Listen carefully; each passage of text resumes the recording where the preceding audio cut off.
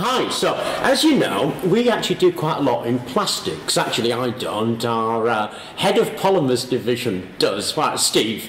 Steve's our uh, Edison Plastics Polymers guy. And we do a lot of work on biopolymers. Now, there's a good reason for biopolymers and the reason we work on them. Uh, traditional petrochemical plastics are uh, not so good for the environment. They do break down after time. UV will rot them, for instance. Time will take its toll.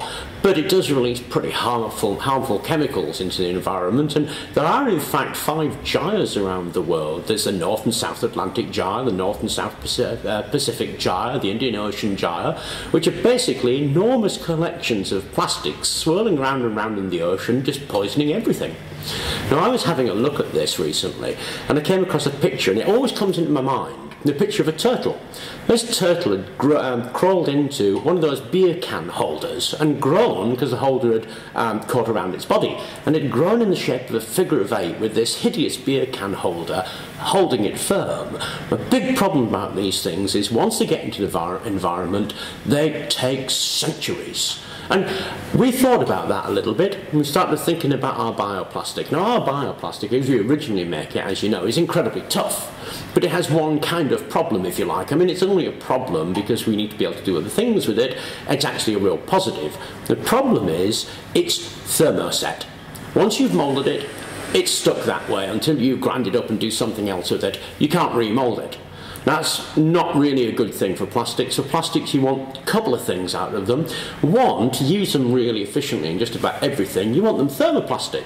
That is, once you've made them, you can heat them up and they'll remold. But you also want them to rot away. Now, you don't want them to rot away in time, because it's no good if the thing makes you a plastic bag, you take it out into the rain and all your shopping falls on the floor.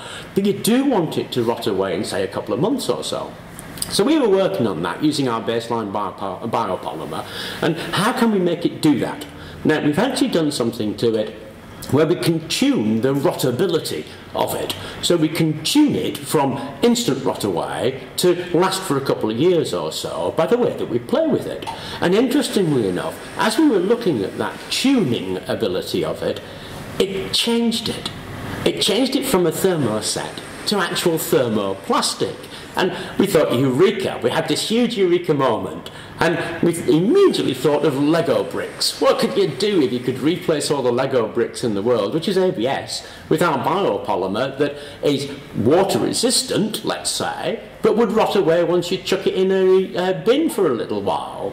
So that's what we looked at. So of course, the next thing you're going to do when you're thinking of replacing Lego bricks is, okay, how does this thing take some colour? And Here's the colours that we used, here's the plastics that we made, and they're beautifully bright coloured.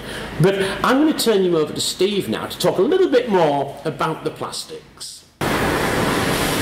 Thanks, Rob. Okay, so you may remember this is our graphene thermoset plastic, and we fired bullets at it. We tried to stab it.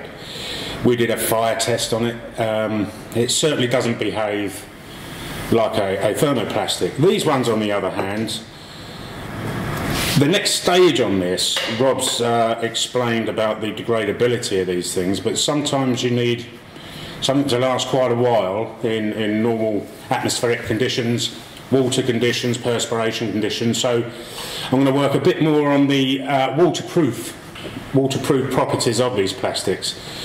Now we've had um, part of this plastic in a bit of salt water for a couple of weeks, and as you can see, it's sort of degraded down to a liquid. Uh, that's good, uh, but sometimes we need it to make we need to make it last longer as a plastic. So there we go. All we used to colour those were these uh, child's paint powders. Really, they're uh, non-toxic, so the whole thing is non-toxic still, um, and they take on colour quite well the, the base plastic, the base polymer, takes on the colour very well indeed. So there we are, that's where we are so far.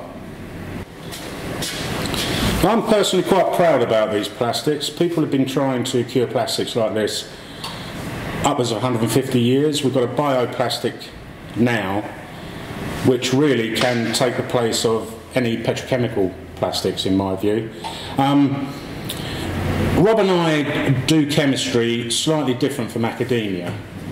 you know, we'll sit down and discuss things. We'll read through papers, get totally confused, come into the lab and just do it basically, and then we find out afterwards how it's done. But it seems to work quite quickly when you do it in that that way. Um, this is a lab. You can call your kitchen a lab. You can call your bedroom a lab, your garage a lab. Rob's always uh, had the philosophy that you should go out and, and, and get hands on and try these things, and, and, hopefully you'll come up with something like it. So, um, a good biodegradable plastic, you can. I was going to say you can eat it. I would. I wouldn't encourage anybody else to, but I'm quite confident about it. You can put it on your garden, let it rot down. All that's going to happen is your flowers are going to come up in particular primary colours because that's just the water coming out there. So I'm pleased with it. I'm fascinated with doing some more work with it, and we're bringing you up to date. But for now, I hope you got something out of it, and thanks very much for watching.